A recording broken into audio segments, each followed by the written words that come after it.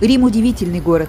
Сегодня я покажу вам еще одну скрытую жемчужину этого многогранного и прекрасного города. Дворец Джустиниани Массимо находится вдали от обычных туристических маршрутов, но является одним из самых запоминающихся мест. Почему, спросите вы? Да за его фрески. Они были написаны по произведениям итальянской литературы. Вилла восходит к началу 17 века. Она была построена на земле, где долгое время находились виноградники. Маркиз Винченцо Джустиниани покупает землю и начинается строительство виллы. Архитектор здания до сих пор неизвестен, а портал, который украшал виллу, уже в наше время был перенесен на виллу Челемонтана. Как-нибудь и там прогуляемся с вами. Она находится недалеко отсюда. Винченцо Джустиниани – римский аристократ, маркиз, банкир Ватикана, коллекционер живописи и античной скульптуры. Он собрал коллекцию из более тысячи произведений, и она считается одной из самых престижных того времени. Вилла времен Джустиниани была очень простая, где был небольшой тайный сад. Вилла, как и здание, были украшены старинными статуями со вкусом того времени. К концу 17 века вилла Джустиниани даже была внесена в карту Рима – в начале XVIII века в семье Джустиниани ухудшилось материальное положение, и вилла была продана. В 1803 году виллу приобрел Карло Массимо, который и украсил ее фресками. Над циклом фресок работали художники так называемой школы Назареев – Корнелиус, Кох, Овербек и другие художники. И эти фрески сегодня являются главной достопримечательностью комплекса. Художники жили в общинах, у них были длинные волосы, они были очень худые, и именно за этот внешний вид их назвали назареями.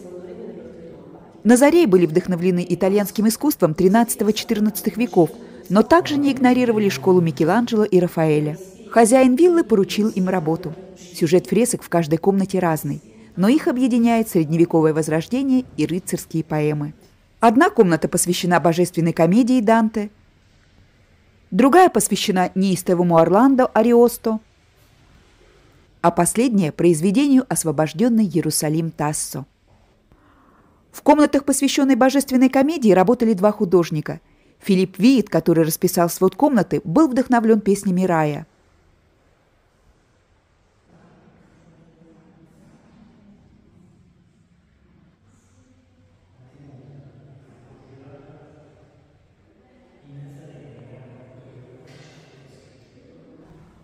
Художник Кох написал на стенах эпизоды из ада и чистилища.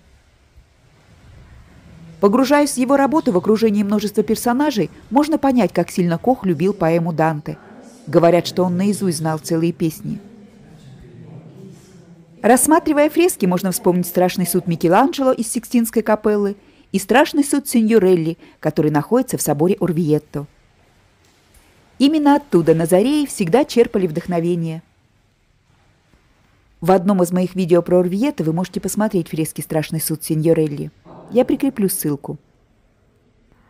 Орвието – потрясающий городок, но если бы там даже ничего не было и стоял только один собор с фресками Синьорелли, то ради этих фресок я бы вам обязательно посоветовала туда съездить.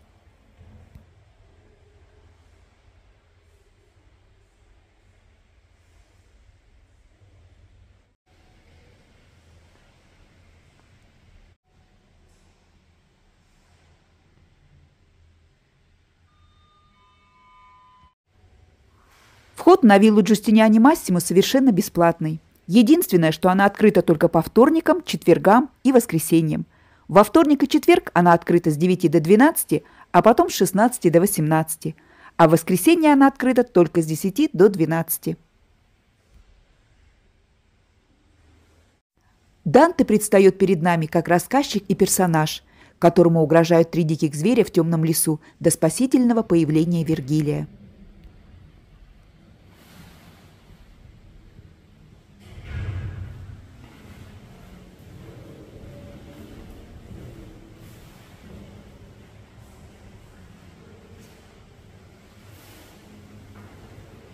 На фресках можно проследить, как Данте сопровождает нас по всему залу, от кающихся, собравшихся на корабле, до проклятых, терзаемых адскими муками.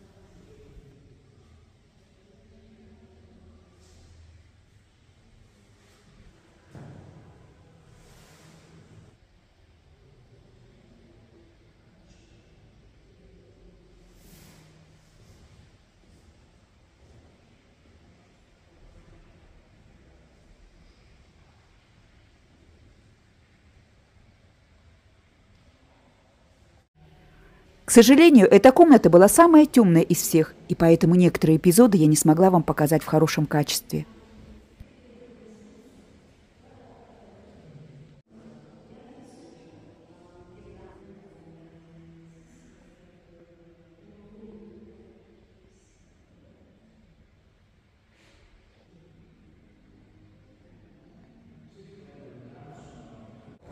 Вторая комната посвящена Ариосту.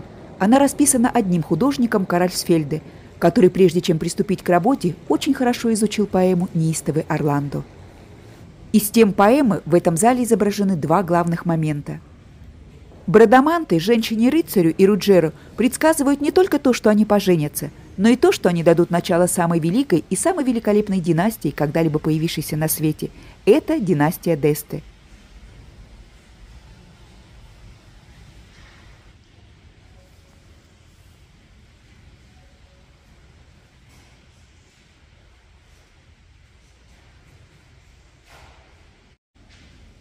Битва между христианами и сарацинами. Здесь автор был вдохновлен работой Рафаэля «Пожар в Борго».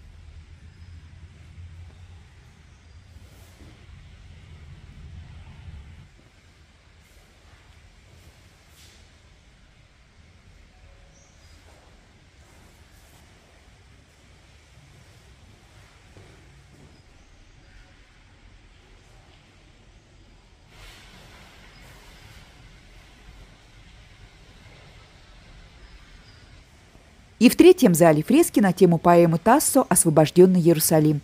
Автор фресок Овербек. После работы на вилле Джустиниани Массимо Назаряне приобрели огромную известность. И это не мудрено. Здесь просто великолепные залы. На видео очень сложно передать эту красоту.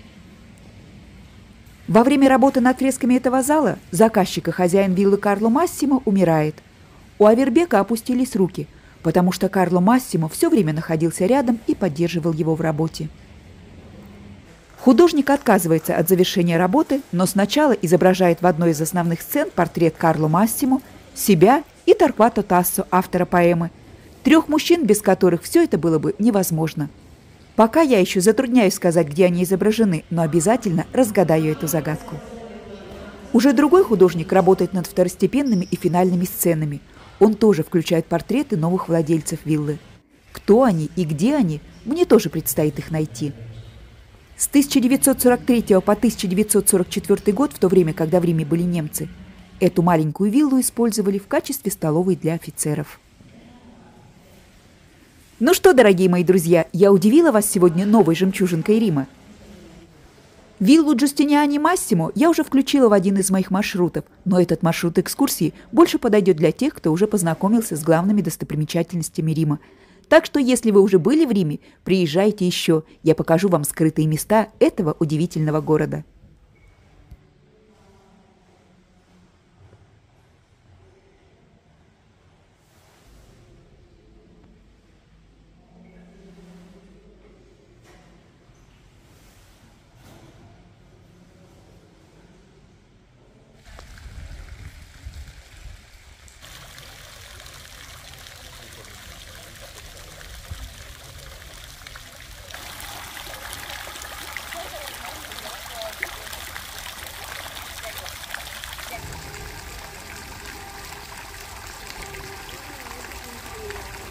Наступила весна, и в связи с этим я открываю маршрут прогулки по Апиевой дороге. Будет много всего интересного.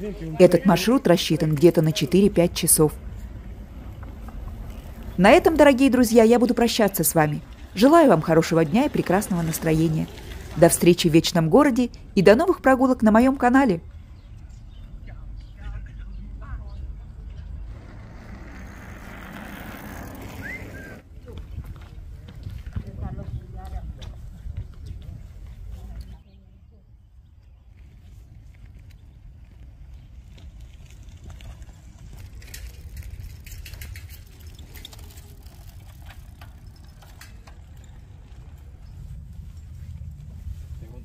再也不必要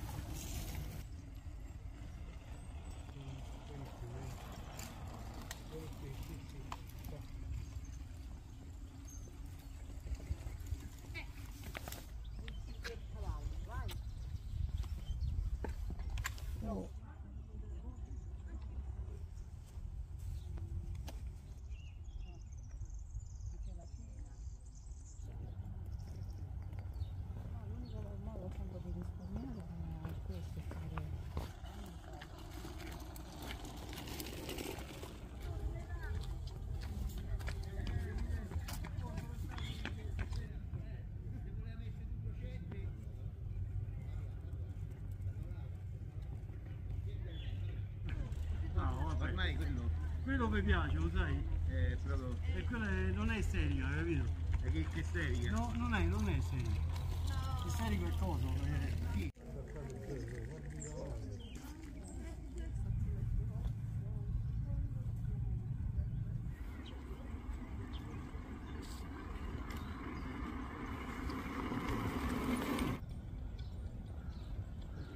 Non hanno avuto problemi.